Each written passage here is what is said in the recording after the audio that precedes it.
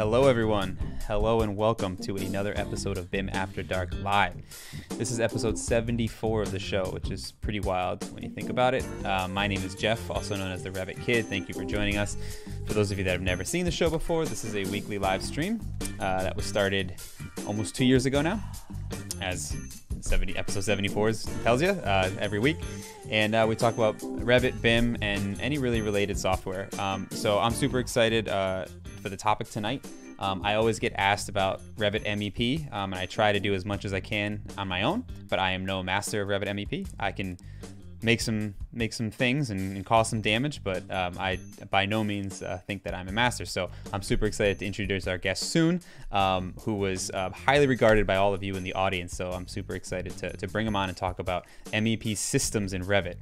Um, not just talking about the how-tos and digging in, but also globally the thought process of, of, of really how you guys should be thinking about uh, this tool that we have. It's insanely powerful tool that we have at our fingertips. Um, if you have not subscribed to the channel here on YouTube, please subscribe to the channel. Um, that's how you'll know when we go live. That's how you know when new videos are posted. I've got a new series, um, a residential Revit series coming up. That's going to also be a weekly uh, published, not live, but published videos. Um, so make sure you subscribe to the channel here on YouTube. And last but not least, I would like to thank our sponsor of this episode, Twinmotion. All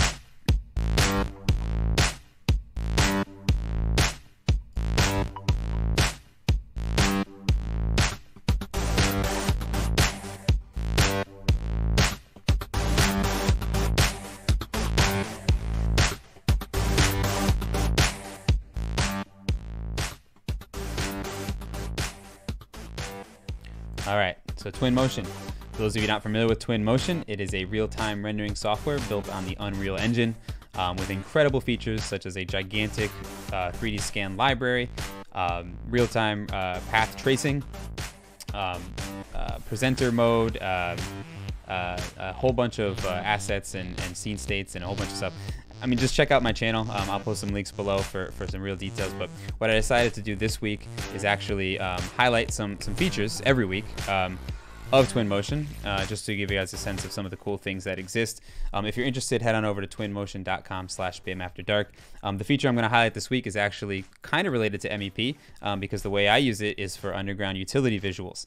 And so what you're seeing here on the screen is a Twinmotion scene that I created, and the the feature is actually an X-ray material. Um, so uh, when you apply materials to to objects in Twinmotion, and these are all Revit models being viewed in Twinmotion, you can use what's called an X-ray material, which can be super useful for things like underground utilities, which you're seeing here. Um, I've used them for in-wall. Um, so for example, showing systems in a wall, uh, pipes maybe behind a head wall at a hospital, for example, is, an, is something I've used them for. Um, so super simple, super easy to use. Um, you can see actually the flexibility of the software and all the all the scene states and all the visibilities. There's a, a bunch of features that you definitely want to check out check out the the review I have uh, here on the blog, which I'll I'll, uh, I'll, I'll link below, and uh, and definitely head on over to twinmotion.com/slash bim after dark to start a free trial today and let them know that you support this show as well as them. And so. With all that being said, uh, before I introduce my guest, I want to also remind you that if you're here tonight at 9 p.m. Eastern Time, um, it is live. And so I will be checking out the chat and feel free to ask questions, heckle, whatever you want to do. I will only let David know when uh, it's something pertinent to not throw him off too much, unless it's a really funny heckle. Then I'll let you know, David. But with all that being said, I think it's about time we introduce David Butts. What's going on, man? Hey, man, how's it going tonight? Oh, it's it's it's great. I, I first thank you for coming on the show. I appreciate it. As I mentioned in the intro, I am an architect. I do Revit architecture, and I've been doing it for many, many, many years. And I've just dabbled on the side of MEP. So whenever someone asks me MEP stuff, um, I try my best, but I'm I'm always willing to bring on experts. And I got to be honest with you. And if you guys out there feel like you are charismatic experts of MEP and would like to join the show, reach out to me because they're hard to find. So Thank you, David, for joining the show. well, since you're an architect, I have something for you that I'm going to send to you because you can't be an architect without having a cool hat. right? That's right. That's right. And, and I wear much more hats these days now that I don't have much yeah, well, me too. There, so. I mean, I get a lot more sunshine up here than I used to. But yeah, I mean, it's just awesome to be here. I, I'm just, you know, when you sent me the email, I was like, man, this is awesome. I've never had a chance to do one of these before. And as many sessions, I've taught over 75 classes at AU, and it's just kind of like, doing something like this, I like it because it's a little bit more intimate and we can sit here and really get into the details and talk about what's cool about the software that we use and how we use it every day. Yeah. So there's just 100%. a lot of cool stuff that we can talk about. 100%. And, and yeah, I appreciate you taking the time and, w- and willing to come on.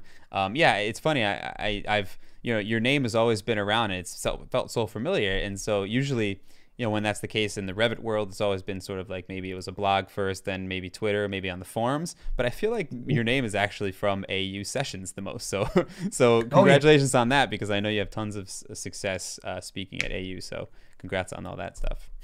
right. And I've got a pretty diverse background. I actually um, started, I've been doing working with Autodesk products for 37 years now. Actually started on AutoCAD release two. So I'm an official old guy. I mean, we, you look at AutoCAD, or what, 1982, it's 40 years old now. Yeah, that's right? pretty wild. 40 years old. And so 1997, I joined an Autodesk reseller and uh, we had four architectural clients and my degree was in architecture and i'm thinking okay this should be easy and it was like oh no it's not easy at all and so in 97 i was one of the original architectural desktop gunslingers. Got invited up to henniker new hampshire in a one stoplight town. Drove up to the salt box style houses that dave arnold had and looked at that and i'm like you've got to be kidding me. Is this really where this stuff has started this whole object oriented program and then yeah it was and got to meet a lot of really cool people you know they've been in the industry for a long time. And then um, what actually happened to be in the Revit Technology Corporation office the day that Autodesk acquired Revit. So I'm like, here we go again. You know, we had architectural desktop that had been bought from from Softdesk, and now we're buying Revit, and it's like, oh, there's all kinds of discussions going on about how we're going to use this. And I'm sitting there raising my hand, going, guys, we have no engineering tools. It's great that you have the architecture tools, but where's my duct? Where's my pipe? And as a reseller, it was like, Right. What the hell am I supposed to do with this? you know, like, yeah, and it wasn't until what to Revit version. God, was it? Two, when was when was Systems introduced? Well, Systems when, came when, out. Sorry, about... when when was the because it was never it was three different packages. So when was the MEP package? Was it 2010? No. Yeah, 2010, 2009, 2010 is really when it became a okay. uh, feasible package. Yeah, yeah. And and at the time we didn't have any documentation, so I actually wrote some of the first training manuals that um, we, we were selling at Advanced Solutions and at Cadre for years on this. And then um, it was really cool to get that stuff out there and have it out there. And I learned a lot by just writing the package. If I can't explain it to somebody else by writing it, how's anybody else going to understand it? Right, right, right. so it was really awesome. cool. I had a lot of fun doing this stuff, and it, it, was a really great time to be coming up through through the Autodesk ranks at that point. I'm sure. So, so yeah. So, um, I mean, I guess we don't need to say much more as far as your bio is concerned, and I'm sure I'm yeah. sure I'm sure many people can Google you and, and, and, and find out the, the rest of it. But um, I, I think uh, I think we should jump right into it because I'm super excited for the content. So cool. I, I, think maybe um, I, I know you've got sort of a, a, thought on, on a sort of monologue that we can take take take in whatever direction we need to. So uh, if you want to just jump out there and then I'll, I'll, I'll, probably chime in with questions and, and, and, and interrupt you at good points uh, to, to keep the conversation going. But I'm ready. I'm ready to just jump into this. Uh, I'm, I'm super excited to hear your, your perspective on systems and, and how we're going to approach this today. So, so let's let's talk about the systems part of this. And and the thing to me is that's really fascinating about the industry as a whole is that you know the systems that we deal with there's a wide variety of these. And I, I, don't know if you have the image up now but let's take a look at this guy real quick. I mean these are just some of the project examples that we work on. And to me a system is a lot more than just a plumbing system. It's more than just connecting pipe. It's more than just throwing some receptacles in a drawing. It's all about creating these relationships that you need with with the engineering documents that you have. And here's the fun part about it. A lot of people you're probably aware of this but MEP really doesn't get the attention that it deserves because if you think about it, with the systems that we develop, if you look at a set of documents on a project, who has the largest number of documents on a project? It's not the architect. Sorry, Jeff, you guys, you come no, in third. It's not. You know, but you drive everything we do, right? and we have structural. Okay, it's nice. Hold things up for us. We're really glad that you do that for us. But really, when it comes down to it, 60% of the drawings in a typical project are all about the MEP systems, the stuff you don't see mm-hmm. and the stuff in the walls and and under the floor and above the ceilings and the things that just keep us comfortable. Mm-hmm. You know, keep things clean, and so they're really important aspects of what we do with design. And it's just amazing to me the the lack of coverage that it gets for how important it is. Yeah. And so as we look at this and how these tools work, I think one of the things that got lost as these tools progressed wasn't really the features. I mean, because if you talk to people who started in Revit early on, they didn't use it. Why? Because it didn't have what they needed, right? Mm-hmm you know, I can't do piping with this. It doesn't have the fittings. It doesn't have the families, right? And we we heard that all the time. And when I started writing the documents, I said, how do I explain this in such a way to get people to be engaged? And so we started this off by looking at what we call the four step process, right? And that four step process is really all about, you know, the way to work inside of Revit so that you put this thing together correctly. And so if you follow this process, it makes it a hell of a lot easier to learn how to use the program. So it starts off with something really simple. And we're just going to flip through this really fast and we'll try to get to as fast as we can. But how many of you guys start off a project by drawing a duct? I actually had an engineer. That's what he would do. I need to know where the duct's going to go. No, you don't. You don't even know what the duct's connecting to yet. you know, we got to we got to know where we're sending things to, and and so we started off by calling it what the target and source equipment is. And so at the very start of a project, in the early phases, preliminary design, you need to be picking what the equipment is for the project as soon as you can. Mm-hmm. And even if it's just a placeholder, we have to know that I've got to have air terminals, I got to have lights, I got to have all this, this other stuff. And by the way, architects don't own the lights, the electrical engineer does, right? We have that great argument all the time. It's oh, like, yeah. no, I get to place it. No, I got to wire it. You know, we always have that great argument. But let's let's define it real quick. A target is something that receives air, fluid, or power, right? And that's what carries and defines load in a system. So these are the most important pieces that you can have out there. And so targets can be air terminals, plumbing fixtures, lights, you know, all this stuff can define, you know, what a target is. And so you want to make sure that you're getting this stuff placed early and as accurately as possible. And we know architects like to change things. That never happens, right? the nice thing about working with Revit, you use some hosted elements, you use some other things like that. We don't use a lot of, a lot of hosted elements, but we do try to create some constraints to help things move along, right? Mm-hmm. So if we do that, then we have to understand what the source is. And the source is always one thing. It's what controls the flow of air, fluid, and power back to a target. And so I'm going to ask you a trick question here. And this, let's see if you can figure this one out. Oh, boy. And, and everybody's going to laugh at this one because if you've been in my classes today, you and I know about a dozen of you that are out here watching tonight, right, Tom? If you're here, how much did we talk about this, right? when I have an air, t- air terminal, is the flow in or out of the terminal. If I'm talking about airflow, what's the direction? You get a 50 50 chance of getting this right. I would say it depends on if it's a supply or return. you almost got it right.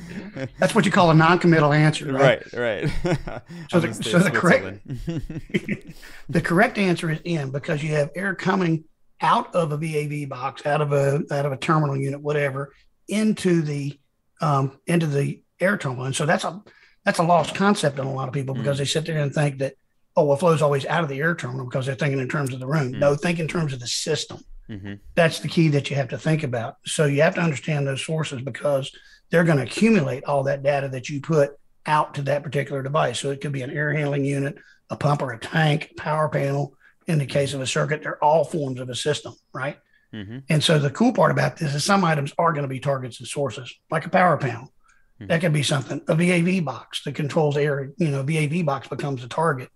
And so we want to make sure that we understand how that stuff works. So I'm, you mind if I bounce over to Revit real quick no, and show you a picture of this? So I'm going to switch over real quick just so you guys can see this. So I've already got a few examples in here to show how this works. And one of the things that you need to look at when you're defining the systems is we talk about, you know, what is it that we need to know for this particular item? So I'm going to assign an airflow of 100 to one of these, and I'm gonna grab a couple more, and I'm gonna say, okay, what's the airflow going to be? It's gonna be 200 here, and then I'm gonna come back to this one. I'm gonna say it's gonna be 150 here, right? All right. So when I put these things together, I have all these di- disconnected pieces right now, and this is typically what happens in a drafting mode. You typically don't put that information with this object, right? But to define the system, you're simply going to grab the parts and say, hey, make a duct system. It's going to be supply air, I'm going to call it supply air one, give it a name. I like to put the room in here, you know, where's it actually located? Mm-hmm. All that good stuff shows up in here. So when I create that system, now I have that information about what that system is and it shows as a connected system. And so it's real simple to define the system in this particular case, and that's where it's going to carry the load, right? Mm-hmm. So if I look at any of the system properties, it's pretty easy. I can actually pick on any one of these guys and look at the system properties, I can actually see what that particular device is. I can edit it. I can move things. I can add things to that system. And so I'm doing this very early on in the project, right? Mm-hmm. I want to get this stuff as grouped together as, as quick as I can, as fast as I can. Same thing happens to lights. I'm going to grab all these lights and I'm going to say, let's create a power circuit for this. I'm not going to associate it with a panel right now, but they are going to carry load. And here's a big piece of advice for you too. If you have a fixture or something that you know is going to be continuous or it's going to be a common example, as you set up your content, go ahead and preload data in here. If you know this light's going to be a, you know, a, a 12 watt LED bulb, whatever it's going to be in that case, it's a good idea to go ahead and have those load values assigned as much as possible. I'm not a fan of the Google when it comes to go and getting Revit content. and I know everybody does this, right? We all go out and grab, I can't find it in the Autodesk library. So I go out and grab the stuff off of Google mm-hmm. and they bring it in. They've got all this data with it. And a lot of times it's duplicate data. It's not the right data. It's not what we need for our schedules. And so you got to pay attention when you're actually placing this equipment to that critical information.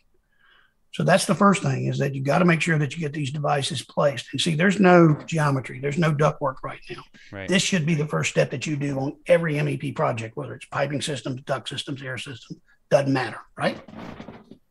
So we cool on that one right there. No, that's awesome. That, that's and honestly, uh, that's actually you know as someone who doesn't, and so I think all the architects out there who don't draw systems every day uh, or model them mm-hmm. every day um, I think that's I mean that was eye opening for me. I, I, you know I always think of of you know, I mean I guess I live a lot of my life in the in the actual uh, ducts and pipes these days, and so you know the mm-hmm. the idea of setting up the whole system first and then creating the arteries afterwards is just it makes sense, right? It, it's it's right because then all you're doing is connecting them and the routes they take. That's a whole that's a whole other ordeal. So that alone to me is, is a is a is a is a great great eye opening uh, uh, touch on on how these things work. So awesome.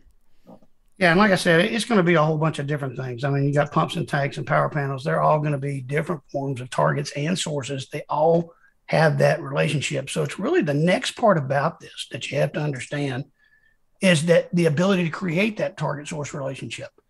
We talk about how the targets hold data, but the equipment is going to accumulate that data, right? Mm-hmm.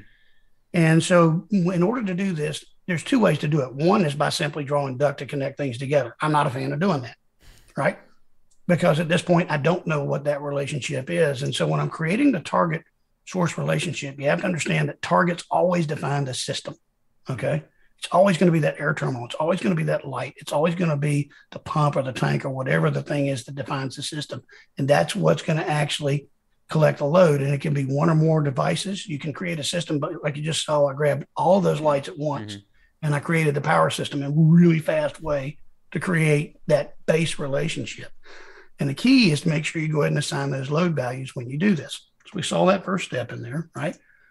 And then we have to talk about what the source is. So we have to create that relationship. Now, there are very few things in Revit that don't have a source. Mm-hmm. A plumbing system is a great example of something that typically doesn't have a source, like a sanitary waste system. Mm. Really don't want to know what the source is in that kind of a system, right?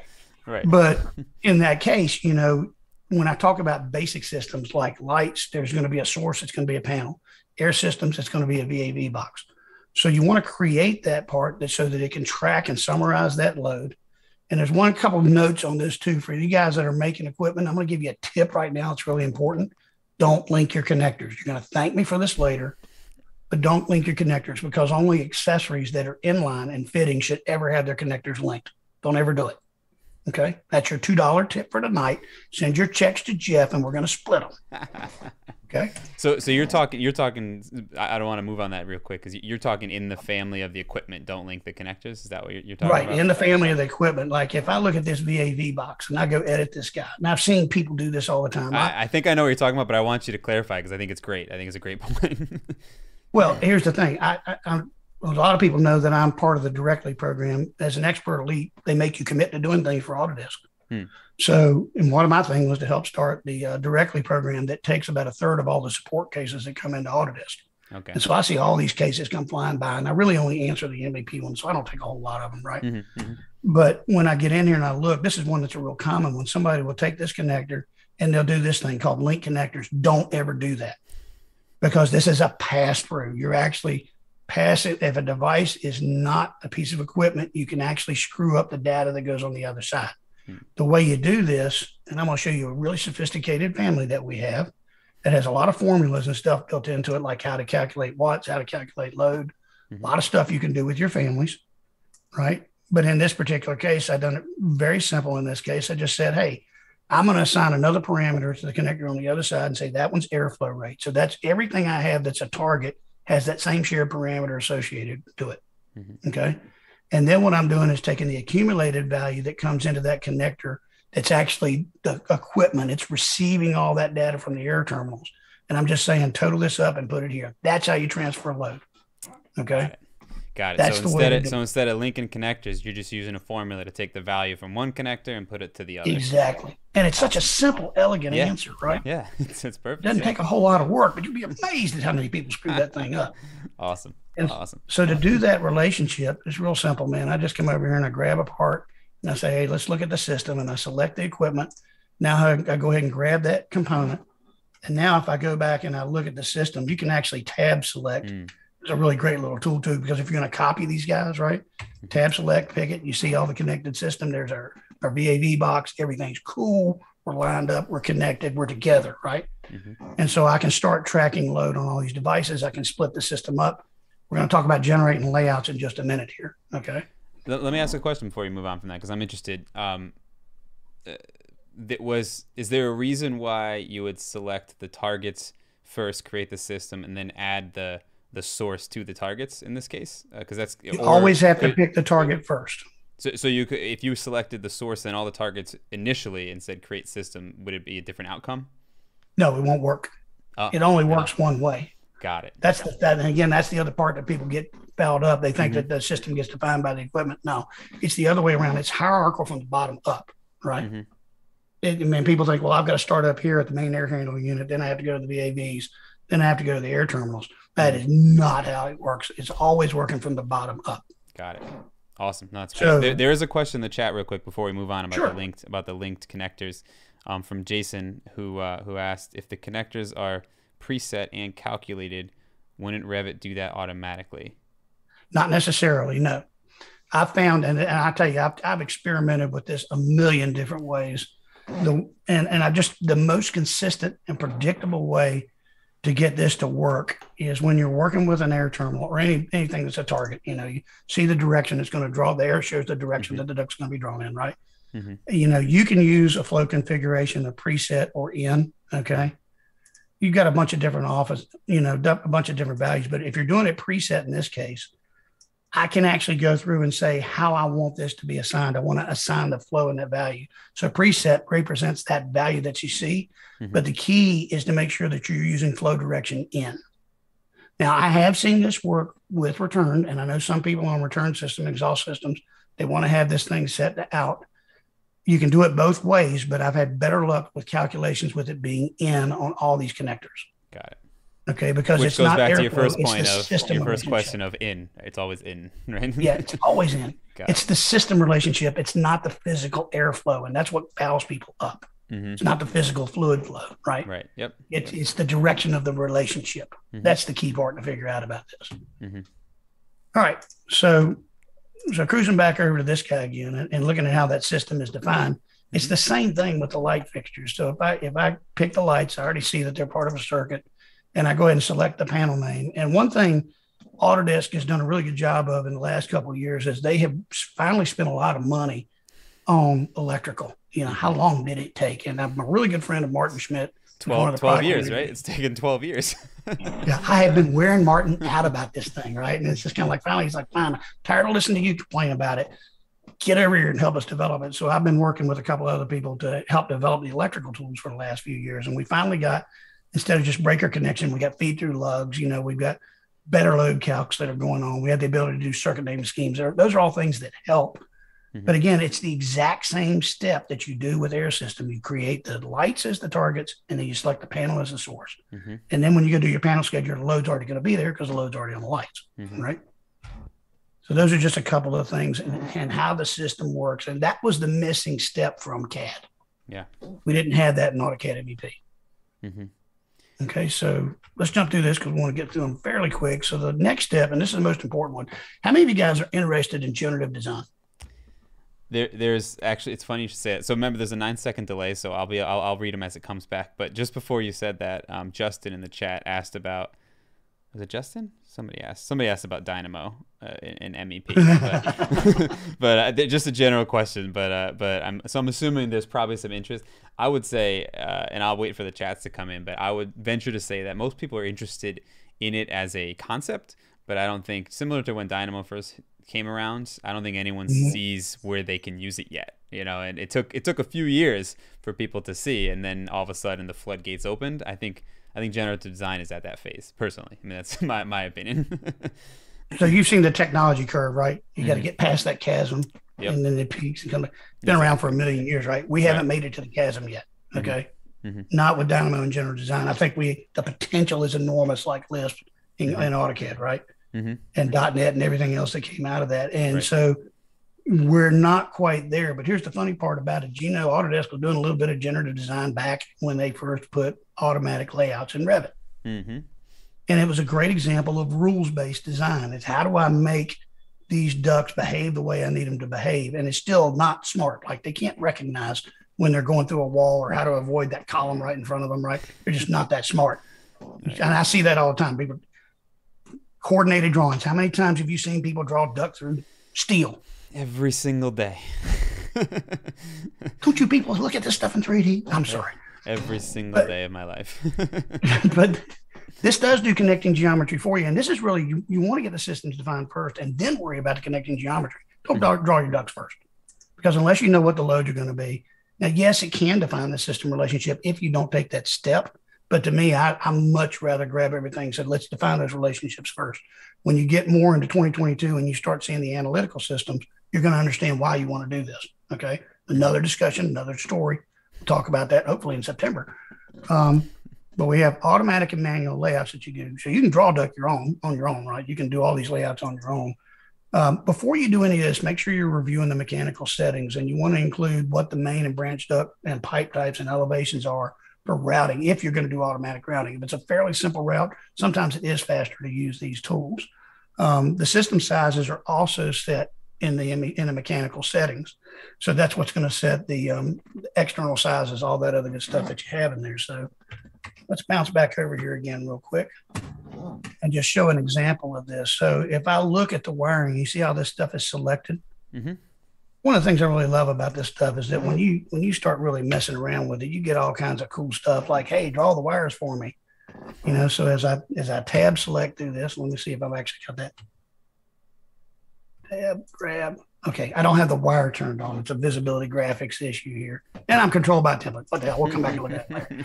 You didn't see this, but believe me, we just drew all the wires, right? right. But I can also label all that stuff as well, too. Well, let's do it with the duct and see how that works. And before you really do anything with the duct, like if I go to manage and I go to MEP systems and or MEP settings, I go to mechanical, you want to check things like what are my heights going to be? So like if I'm doing supply air, I want that duct main to be at 12. I want the the branch to be at 12 and I want to use flex duct coming off these pieces. And again, this is that rules based design that we talk about. Mm-hmm. So if you're really thinking about getting into generative design, this is a great early example to learn how this works, right? Simple for somebody who's understanding the basics in there. And so I go ahead and pick that. And now when I say, okay, I want to actually have this thing do an automatic layout, I just select the system and say generate layout. And I start to get these preliminary layouts that I can cycle through. So the blue represents the main branch and the green main duct and the green represents the branch. Mm-hmm. And so you can cycle through all these options till you find the one you want. You can also go back and check your settings and so you just say finish the layout and it creates the duct for you. Now you still wind up getting some weird things that might show up like, oh, I've got an open duct here. And they've improved this tool to say, hey, cap the open end so it's no longer an open system. Mm-hmm. But now it's a closed system. And this is what we call a well-formed system in here okay, because it's closed. It doesn't have any openings and it can calculate its sizes correctly. Mm. So you look at the time that it took me to go through these steps, right? And the amount of time it took. And I'm not, I'm not going to tell you that automatic layouts are going to be your solution for a lot of things. But if I'm doing like a lot of classrooms and a lot of repetitive type rooms, it's a great way to get started. And then I can pick this whole system up and copy it if I need to, because it's well formed, it will create another system, right? Mm-hmm. So you don't have to draw it from scratch, you just copy it. Yep. Same thing we do with AutoCAD, right? Yeah, exactly. So, so actually, this, this I think this is a good point. Um, where uh, there were a couple conversations, and I don't have to read the whole chat there, but um, about mm-hmm. the the calculated values and and using um, using it for analysis. Um, so it sounds like I, I think the question was kind of along the lines of, you know, do you trust or use the the the calculations and the analysis within it within Revit? I'm using it more than I used to. I'm, I'm getting a little bit more comfortable with it. And part of it is, is that you got to understand the rules that it's using when you get in here to set these things up, like the calculation method for ducts. They're very clear mm-hmm. about what these use. Cold, cold is something that we use on a regular basis, right? Right. And so from most basic systems, you can do duct sizing in this. There's been a big debate about a lot of the duct sizing programs that are out there right now. Do they work right? Mm-hmm. Are they really representative? Especially some of these older ones that we trusted for a long time. But now that we're in this BIM environment, it's probably better not to have to take this stuff out of the environment to something else, mm-hmm. out of my silo into something else, right? Right, right, and then feed it so back, it, right? so it's gonna, it's definitely gotten better. I trust it more than I used to, but again, it's all in the user, man. If you don't make this system well formed and complete your connections, right, you don't connect it right, and you you fudge it, you're never going to get a good calculation. Yep, and that's exactly what I was going to bring it back to, right? The the if you follow the process you're talking about now, you can have more confidence in the system because you've you've you've done the correct steps to get there. Um, exactly. So and, and actually somebody commented, I think Tony, I think is his name, I can't read it from here, uh, was saying that you know when it's set up correctly, um, you know as long as you understand, you can probably get a good percentage of it done. And, and I think that's kind of where, where I would be if I was if I was doing this every day is probably you know understanding that this can do a lot of that initial calculation but there's always going to be just like anything right. really generative design um, uh, you know usually it's it's getting it to a point and then there's a human touch that's involved almost all the time right that's that's sort of oh, yes. the end the end level there so yeah and there's always the ability to tweak things man i mean i like mm-hmm. the fact that i can sit here and say hey i'm going to drag this duct and move these things and everything stays connected mm-hmm. because it's a system right it knows that it belongs to each other mm-hmm. And so we belong together, whatever great song is, right? right? and you don't want me singing. Everybody else said they're going, please stop, right? and if that was Tony Conchata who asked that question, he's going to give me a lot of crap tomorrow because he's my my coworker and colleague over at Gannett Fleming. That's no, I don't think you did, so I think you're okay right now. that's so, the other so. When, yeah, okay. When you have a system built like this and you have the rules set up, um, it, when you're if if you're modifying the system, is it is it readjusting the calculations and sizes, or, yeah. or is that yeah, it is. Yeah, if you go back, it, it doesn't do it automatically, right? Okay.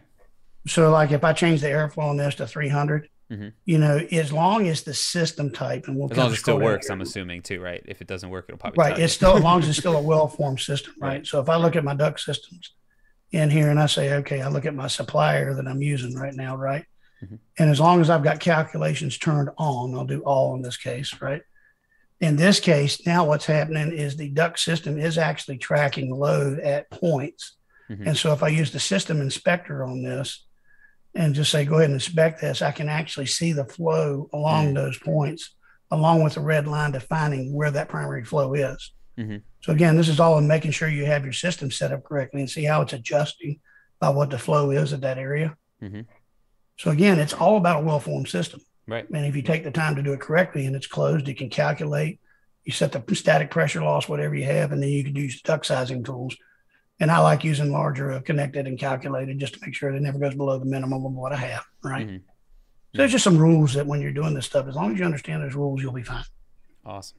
There was one okay. question I wanted to just tap on while you're talking about the systems and you were mentioning copying it around.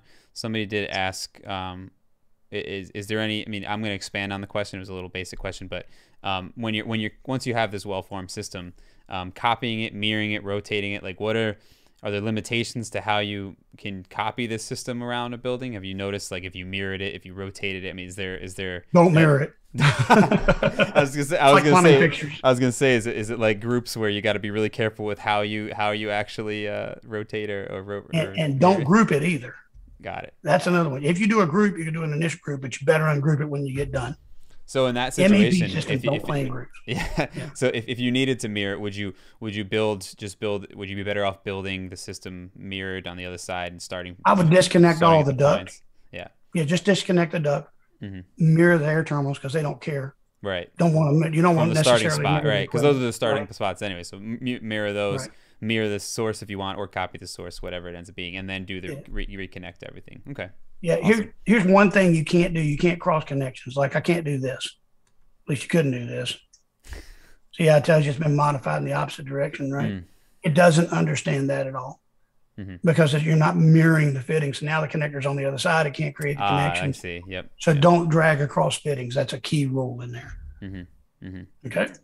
Awesome. All right. So let's get to the last step here real quick because I'm going to get into some other areas real fast and um, kind of talk about the last step in the process in here. And really, it's that the last step is when you actually start to annotate. And I know people really get a little bent out of shape about me telling you don't label anything. Don't put any dimensions down, right? Hmm.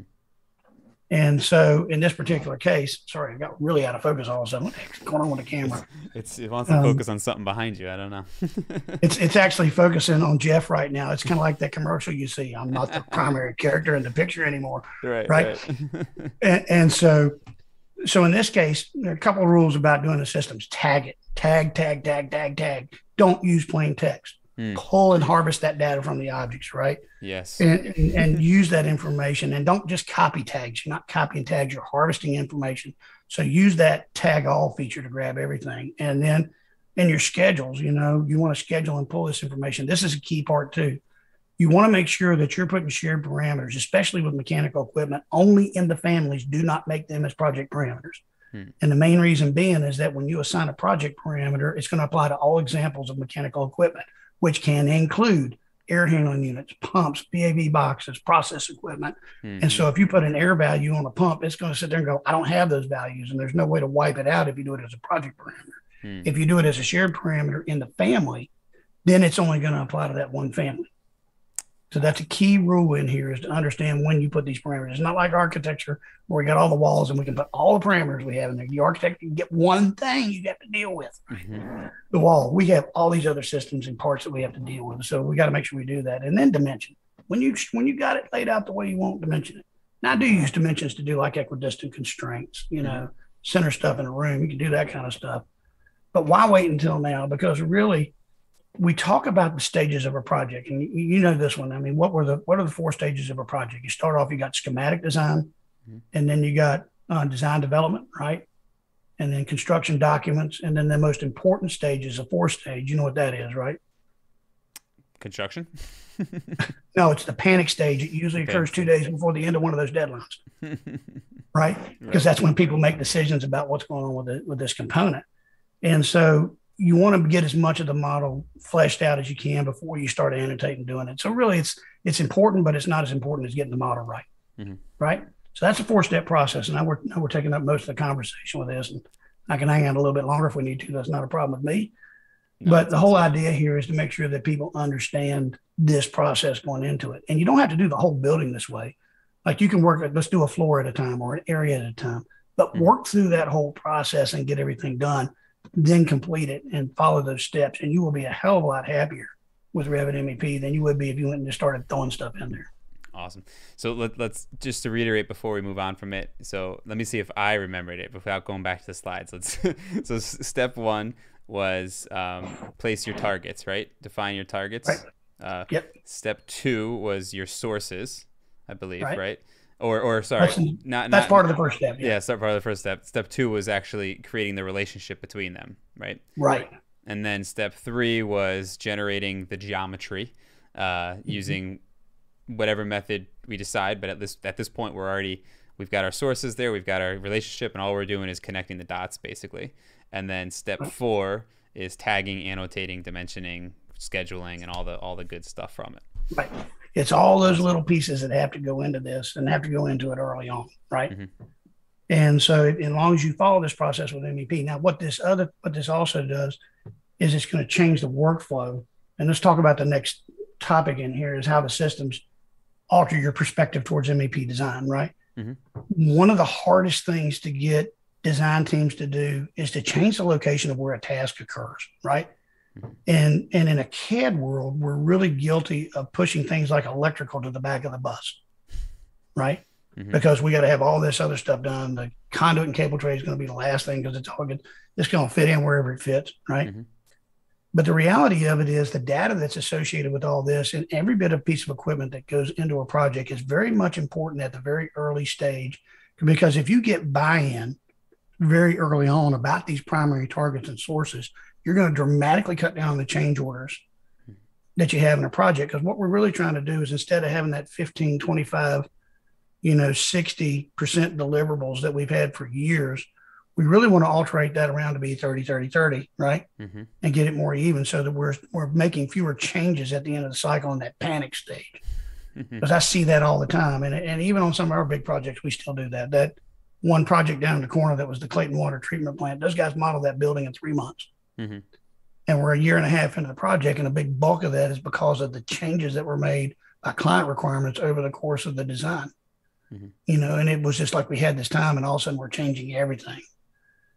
And so those are things that can happen over the course of the project. But the more you get it well formed at the start of the job, the easier it is to take care of things down the road and mm-hmm. address those changes easier and, and have fewer change orders and, and errors and emissions. 100%. One of the things actually I'm kind of interested in um, is, uh, you know, we on the on the construction side so so you know i as an architect, I spend my my day job is on the construction management side now and dealing with model mm-hmm. interactions, especially early on in pre-constructions, dealing dealing with even quantity takeoff from models, for example. And one of the questions that I never get a real straight answer with is, um, you know, how how much of this stuff can get pro. You know, MEP is always, as you mentioned, right? It's always very it feels like it's late you know it, it gets later and later in the game on every job right and, mm-hmm. and as far as what's modeled versus maybe what's a narrative or what's a schematic sketch type of deal oh, yeah. and so you know i'm curious as to you know what is it that's stopping MEP engineers from from pulling from from modeling that early. Uh, at least some, like you said, like can you laying out the targets and sources, for example, is that really a big deal to to do that really it's, early on? It's a habit. Hmm. I, I, don't. You just said something that touched on me that drives me absolutely crazy. narrative. Mm-hmm. Oh yeah. Why in the why in the heck are we doing a narrative mm-hmm. when I, we can sit there? My narrative should be, how many square feet do you have here? Okay, I know about what my power load is going to be based on that number alone. Oh, it's mm-hmm. a commercial building, great. And I'm going to have office spaces. This is all known data. Mm-hmm. You know, um, what is it? ASHRAE 130, right? Mm-hmm. Yep. And 90.1 when it came out, where it defined what the loads are per person per room. These are not new pieces of information. These are well formed, well thought out criteria mm-hmm. for room. Now it's been altered by the advent of technology. I mean, look at the impact of LED lighting on electrical loads, right? Right. Yeah. Yep. You know, and, and just that aspect of, of how we've been able to alter what we deliver with system improvements in technology. Mm-hmm. And so, and the reality of it is, is that most architects and and engineers they don't stop to say why don't we make these decisions now and so it's a it's a workflow and process change mm-hmm. Um, mm-hmm. i had the fortune of getting sent through project management training a few years ago and learned about learned about work breakdown structures stuff that i never used right right but it made me understand better where we had to be changing where our decision making process occurs mm-hmm. right mm-hmm. like we won't start a project anymore unless we have a valid survey yep. my water group that i work with and i'm liaison for Mm-hmm. I won't let them start a, a, pump station or a water treatment plant unless they've got a damn good survey that's coordinate correct. Right. Because everything in that project relies on its location, especially in a gravity fed system. Right. Mm-hmm.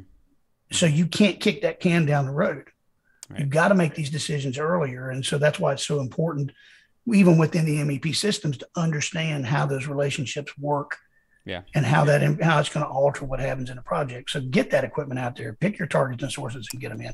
Even if they're just placeholders it doesn't right. matter. Get them right. in there. And that's that's kind of what i was curious about. And, and and honestly i have the same argument on the architecture side. I i, I don't understand generic walls right? It's if you chose an eight inch wall you probably have an assumption what the real wall is. So why not just it's place the, real wall. wall, and I, I, as an architect i say this to to my you know fellow architects. It's it's you know you put a one foot four inch exterior wall there's a reason why you chose that because you have a feeling there's a makeup that exists of brick and airspace and so why not just use the wall? And the same thing with systems you know you spent the time even drawing we get a lot of line diagrams still in sd and yep. and, and you know drafted line diagram. You spent all that time doing that.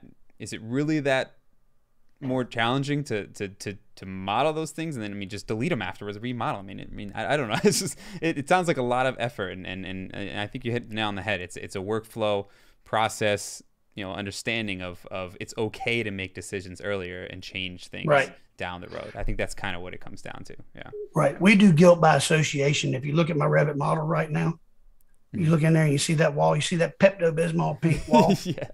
That's a generic wall, right? right. and so uh, we we started playing this guilt trip on the architects to say, hey, you haven't designed this wall yet. We're going to make it Pepto Bismol pink, and even if you go to a 3D view, the whole wall is pink, right? and so, but, but it's a great way to think about it. I mean, if you're teaching somebody how to do this, and you're saying, hey, okay, their gut instinct is I don't know what it is, mm-hmm. put it out there. There is one rule about about the architectural structure I need to pass on for the for the love of Pete. Do not delete a wall if you're just going to put another type in. Change it. that way change we don't lose type. our host and we don't do it. Change the type to something else. You know, yeah. even if you're going to move it, change the type to something else because that GUID that's associated with it is so important, especially when we start associating MEP equipment with a wall or a ceiling or a floor or anything like that. Mm-hmm. You want to make sure that you're not just randomly deleting stuff just to put it back in. Yeah. Think about what you're doing. There was a, a quick conversation. Um, I, uh, I think Kevin started it in the chat, and it had to do with um, if you're when you're placing targets and sources first. If you're in a larger building, let's say it's a five, ten story building, is there a flow, uh, you know, bottom to top, top to bottom, or anything like that that you would you would suggest how you would approach the whole target source? Um, would you lay out? I, I, I mean, my, my, my addition to that is actually, would you lay out, for example, all the target sources, the whole building, and then go back and do the relationships, and then go back geometry, or would you do maybe like a whole floor at a time, target source? I mean, I guess it depends on what the, the either way works. I'm really dependent on the else. architect though. Yeah. Because let's say that he's done the first, second, and third floor, and he's got the rooms laid out in there. Well, if he's got that done, I can move forward. Mm-hmm. Right. So I'm really following the lead of the architect in that case. Yeah. Where are they working? So it's really not set in that case. But like I said, it's a hierarchical system, so it always works better when you go from the bottom up, right? Mm-hmm. Because as you go, like you know, on the top floors of a building, it depends on where the air handling units are. If they're on the roof, you know, the larger sizes are going to come from the top down. So yeah. it's better to work from the bottom up because it's going to have a bigger impact on openings and things like that within the building, right? Yep. So you want to think about those structures and you want to think about what that load is going to be, and you need the cumulative value of that load coming up through the building, right, to understand mm-hmm. what that size is going to be. Yeah. And even if you haven't placed the duct, you'll see the load from everything that's already there. Mm-hmm. And that will help you make the decision earlier to make that chase larger or smaller, whatever it needs to be. Yeah.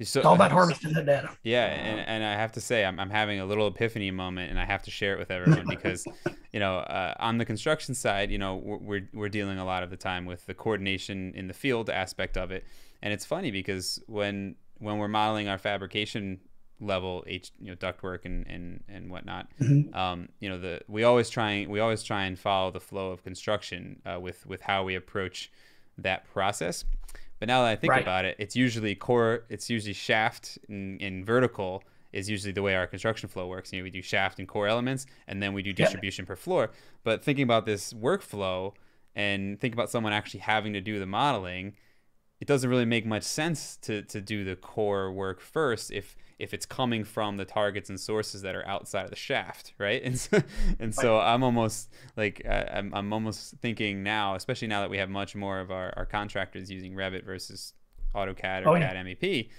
I may I may start asking them like, are we like we must be causing some issues here by making you guys do all the shafts first and then do this and then spread the distribution because they're kind of they're kind of being forced to start with duct and feed out to mm-hmm. everything else. And then they probably once they connect they probably have to go backwards right? To check everything? And they gotta fix what didn't fit.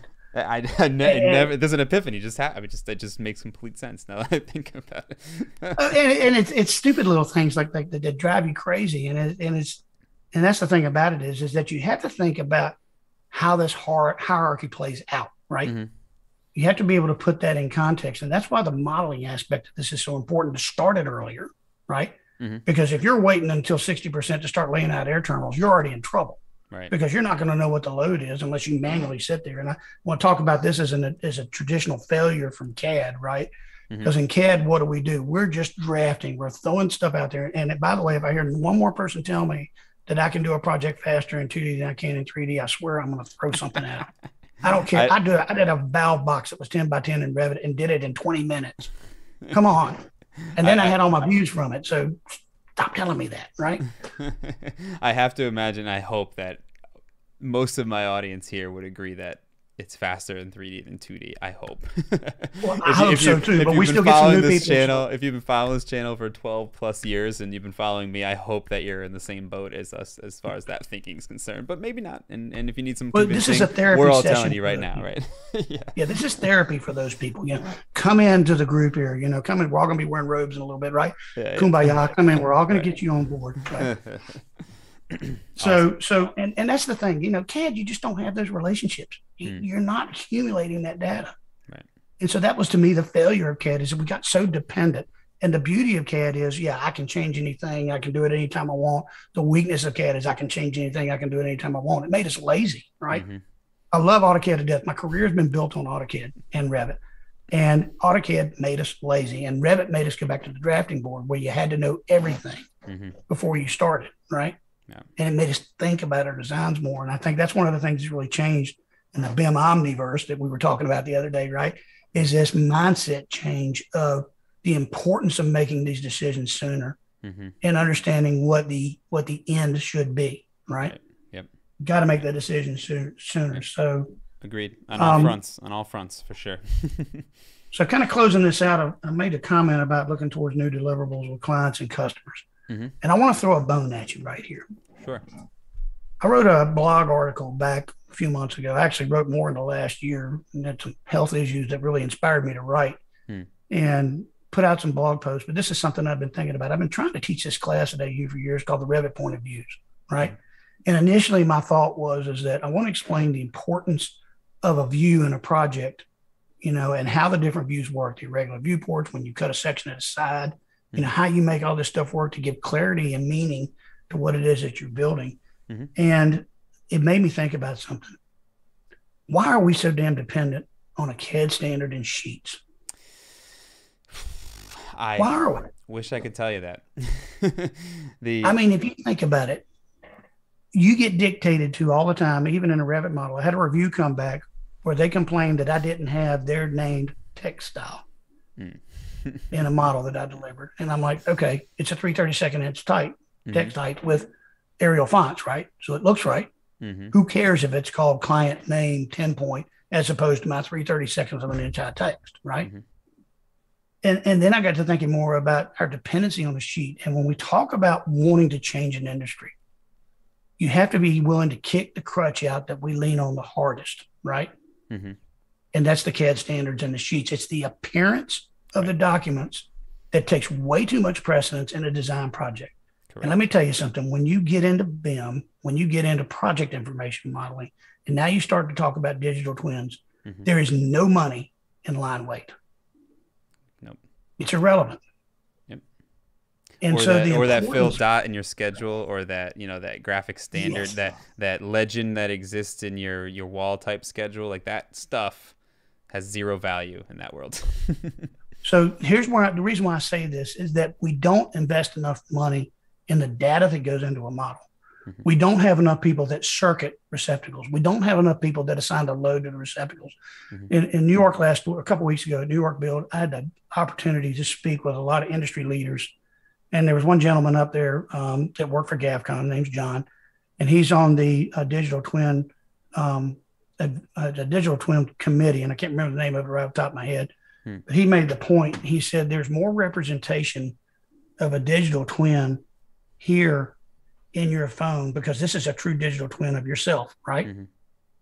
So as I'm looking at this stuff and I look at what I have on here, you know, I've got my medical apps on here that talk about my medical history. Right. Everybody has their banking information on here, right? And mm-hmm. the hell out of me, right? I'm scared my wife, who's an officer with a bank. but you think about that, we have more data that's about us in this one piece of a computer than anything right now. And we have far less data about what goes on behind the walls, above the ceiling, and below the floor in MEP systems and what we put in our models. Mm-hmm. I'd be willing to bet you that we as an industry, if we could get rid of the, the dominant feature of having to rely on CAD standards and replace it with content standards and documentation standards that say make the text 330 hit second an inch tall and not say it has to be a specific type, right? Right, right. That's where you get your money back to start making systems work for you. mm-hmm. and to and to get it to where we can put that data in to where we get closer to that true digital twin. Mm-hmm. Because for me, I'm 61 years old, man. This is this is your stuff. This is what you guys need. This is what the next generation needs to be successful is the ability to understand what a digital twin is and to recreate it correctly so the next person doesn't have to guess what's behind that daggone wall. Mm-hmm. Right. Mm-hmm. So that we do a better job of renovations, a better job keeping cost in control. 100 And so that's just that's that's my soapbox for today. It drives me crazy when we talk about systems for people to understand. You got to be willing to give something up to make it work better for you. Mm-hmm. Why not make it the sheet? Right. And and it's a perfect it's a perfect topic within this topic because uh, I think uh, for the most part, what's happened, and this happens in architecture too. This is just this isn't just MEP. This is architecture. This is all disciplines. You know, we we we've adopted Revit as a, a new drafting platform, not as a BIM platform, right? That's everyone's using it now, but it's all the the ends is st- the end result is still the the document, and so that reflects on what you're saying there, and, and it's always easy to eventually know that you know at the end of the day, I'm just producing plans. So if I have to override this graphic and throw a text note mm-hmm. on there, I'm good to go. But to your point, if you're building it, if you're building a good system, if you're using the tools and connecting them and, and putting the data in there, you can't cheat some of that stuff first of all, which is good, right? Right. Oh, absolutely.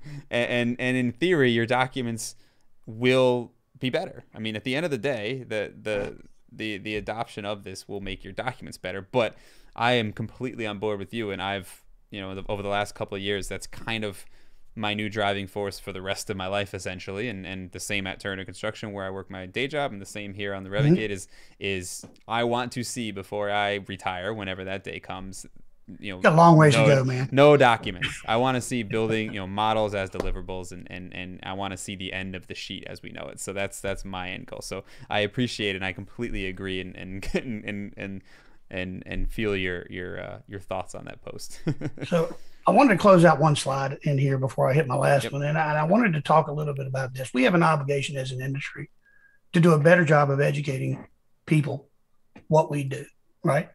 And so, you know, as we change these deliverables, and this is a little project we did for Rutgers, you know, MEP project, just an outfit of a room. That if you look at this, you look at the clarity of the documentation and the ease in which somebody can differentiate between what's going on you know, and what it takes to make this work are the people that are actually behind the scenes and the training that we put into them and the training investments that, that we make in ourselves are what's going to make this work. And, and I want to tell everybody that's on this group out here, your training doesn't stop at five o'clock. Okay. I, I never stopped at five o'clock. You know, you get to the point where you are by investing in yourself. And, and we as companies and communities, we do things like AU, you know, where our company is gone. And I've had thousands of people in my classes up there that have been great friends of mine for years. You know, but even if it's something like with my granddaughter teaching her how to fish, what does that next generation need to know? And have a damn good time doing it, right? Enjoy what you do because think about it. There's not a lot of people that get to do some of the cool stuff that we really get to do. And where we are in the edge of in the evolution of the technology, what's coming is going to be phenomenal.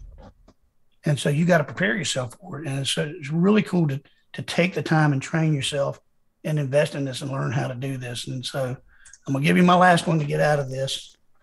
Because and we're going to take questions right after this. But I am teaching the full class of this. I, put I put in a proposal for AU. This will be my 20th year on AU if I get accepted. And so I'm going to send out those little two and a half dollar checks to everybody who votes for me but yeah, I mean, if you want to see more of this and really get into the into the weeds about it, we're going to try to bring this up to AU this year and do this class again because I've taught it.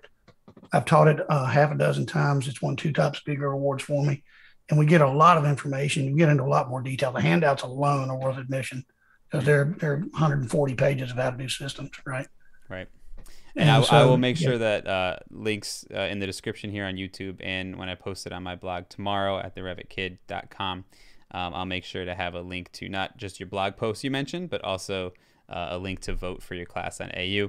I have to imagine that you'll get plenty of votes and and and you'll be uh, you'll be approved. So well, that's my shameless plug. But again, I I got to do it with you because you get some. I've been looking at the people that show up in here, and a lot of the guys, if you had, are really good friends of mine, and it's kind of like you know the traffic that you get and the amount of people that you get up here you really see the passion of people in the industry and that's really cool to see and and and to add on to, to what you said before i think the fact that uh, you know the i think at most we had somewhere around 70 or 80 people concurrently here um, at 9 p.m. if you're in East Coast, I guess. But sitting here for an hour listening to us talk about MEP systems and, and get on a few soapboxes here and there uh, shows that that we do have these people still, you know, in our industry. And and and if you're out there and you're one of those, you know, stay curious, keep doing this, and and and together, you and I and David and the rest of us, uh, mm-hmm. we, we can we can move to those, you know beyond those frustrating conversations you have every day with the people you work with, trying to convince them of what you know is the truth and what you know right. is the best and what you know is the way we should be doing things.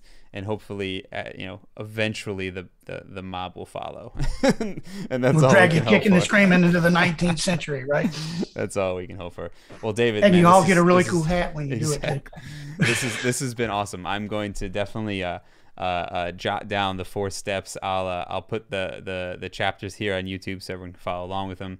Um, what what's the best other than the, the the links that I post there? Is the best place to reach you is is on blog on, your LinkedIn? And where where would you like people to find you? Uh, LinkedIn honestly is the best place to get up with me. I okay. mean, I, I get a lot of people to ask me questions up there every day. Be aware that if you are posting questions to Autodesk, and you might see me pop up and answer your question, right? if you're posting MEP questions, they may get to David. yeah, they may get to me. So if I see them, I'll try to grab them. But at the same time, you know, events like AU is always a great place to find me. You know, I, I try to go there every year, whether I'm teaching or not. You know, but it, like I said, the best way to get up with me is via LinkedIn. And I think most of the people communicate with me that way. Awesome, and I'll make sure to put a link to link to your LinkedIn profile as well below. So uh, thank awesome. you, David. Thanks for joining. This was this was fantastic. Thank you guys all for joining us live as well. There was a bunch of great chat going on, even conversations between folks in the chat, which I love seeing. Um, you guys are amazing. Thanks for joining. Um, see you again next week, Thursday, nine o'clock. I'll be here. Uh, new guests, uh, fun topic. And uh, with that, I bid you adieu. Thank you to Twinmotion for sponsoring. Um, and then make sure again that you subscribe to the channel here on YouTube. And yeah, you guys are amazing. I'll see you soon. Have a great night.